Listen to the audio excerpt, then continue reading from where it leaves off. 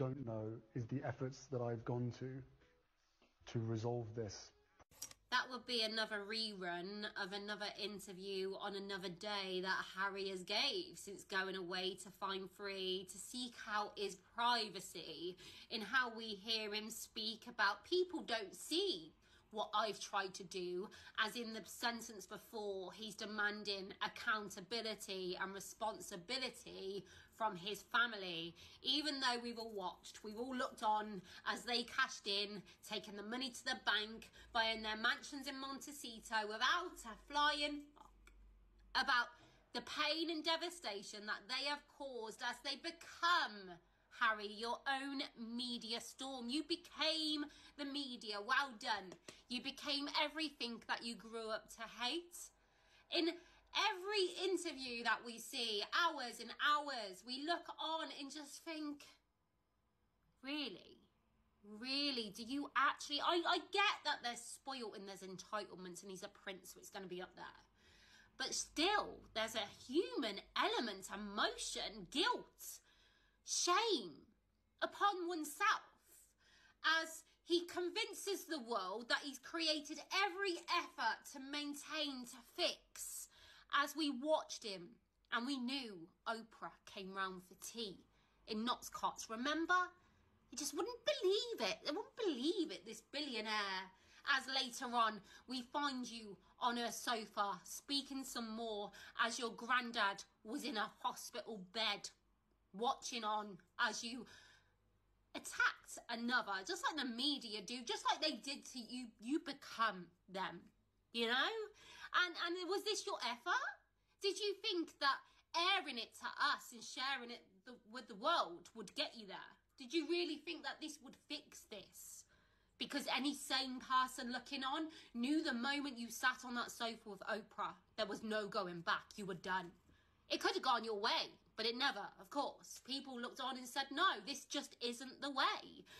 and this effort that's been made was that Netflix, as you carried on with this tirade, cashing in to the bank again, more money for Meghan and Harry, their media storm churning out on a loop, on repeat, as you attacked your family. But it didn't end there, did it? You know, you made more effort, didn't you, in writing a book about your life. It wasn't about you, your story. It was about what they did to you, what they done to you. and we all looked on and think, thought, extra sausage on a plate, an older sibling. That's the norm. In every home up and down the country, across the world. Pecking order. The bigger one. More food in their belly because they're bigger than you. A scrap in the kitchen you're lucky if a dog bowl got broke and you had a scratch on your back because most brothers and sisters will fight. Like, really fight. but still, you brought your book and you put it on pause as your gran, because she's been poorly throughout all of this as we've been watching on, as you've been cashing in. She come to that point where it was the end of her life and her family, the ones that have been around her while she's been attacking her, it was made about you. Was that the effort that you created in order to reach out to fix? I feel like Harry had his Weetabix. like seriously, seriously, I just every interview and there's hours and hours you look on and think, no, really? Do you actually, do you actually believe this? Have you been gaslit this much that you need to gaslight us? And and that's that's genuinely how I feel, just my opinion.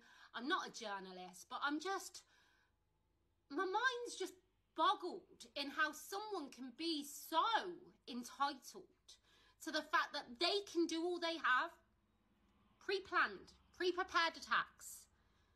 But you went to go and say your goodbyes to your gran. She was there by your side and you whispered into her ear. And where we thought, oh, good, he's cancelled his book, he's put it on pause, maybe he won't bring it out. Maybe this grief and seeing the faces will help with our desperate cause. No, you went back and you added extra bits.